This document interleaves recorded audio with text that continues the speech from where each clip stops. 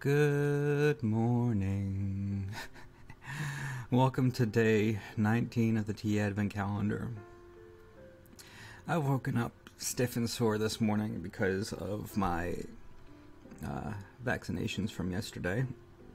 I knew this would happen, but I'm still feeling pretty pretty icky because of it. I'm having trouble keeping my breakfast down. I can't even finish it. Uh, every bite feels like I'm about to, to throw it back up. Sorry about that. Trigger warning. A little late. Now, I've had coffee already. I have this tea in front of me. It is a partly black tea, which is also going to wreak havoc on my digestive system because of the tannins, but it is also a green tea, so maybe it won't. Today we have Tibetan monk's tea, inspired by a Tibetan recipe. This rare blend has a unique floral flavor. Say that five times fast. Black and green teas, floral Tibetan blend. Can I get an ingredient list on this one? Mint rubus, tea vert, Jardin topical, taste, taste monks, yeah. So we got flavored tea, ingredients black tea, green tea, 68% black tea, 30% green tea. Uh, China, India, Vietnam, Sri Lanka, Java, jasmine flowers, flavors, and marigold petals never really a good sign when you see flavors as an ingredient, whether they be natural or artificial. Uh, fun fact a natural flavor does not actually have to come from nature, it just has to be possible to derive it from nature. So you can you can build vanilla in a lab and that's a natural flavor because you can get vanilla in, in the wild or something like that. Um, maybe that's a bad example, but like birthday cake flavor is a very artificial flavor. Whose car alarm is that? There we go.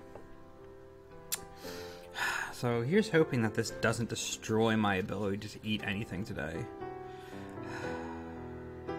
I still have work to do today. Quote of the day Taking your time is the best way of not wasting it. Nicolas, is it Bouvier? or Bouvier? I do not know.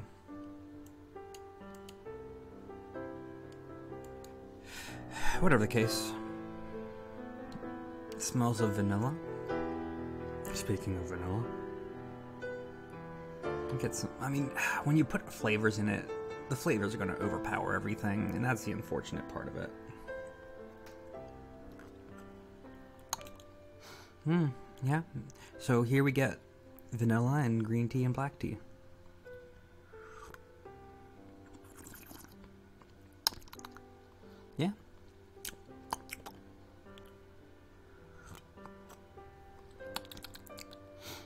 Hmm.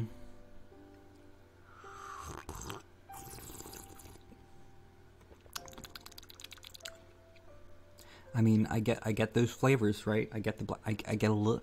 Funnily enough, I get more green tea than black tea, even though there's more black tea in this.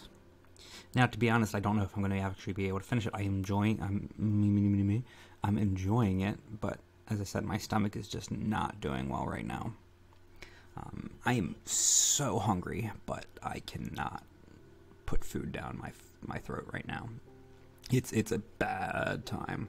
I'm almost wanting to call out of work today but I don't think I can. Or at least I don't think I should.